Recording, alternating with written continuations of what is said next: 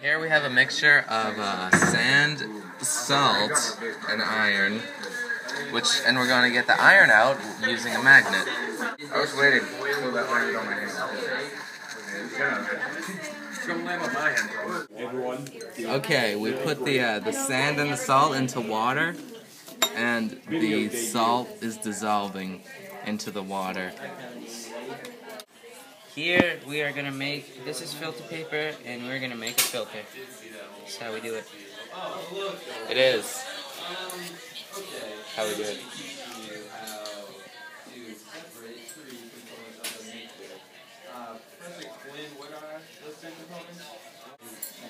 There's our filter.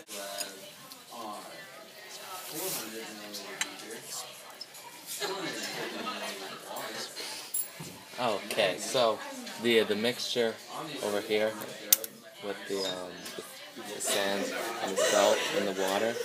Is going into this filter, and it's and the sand is going to stay in there, and the salt water is going to end up down here.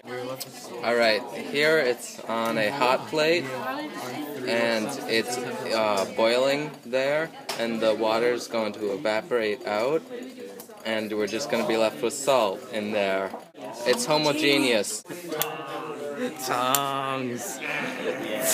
This is what the salt looks like after it evaporates.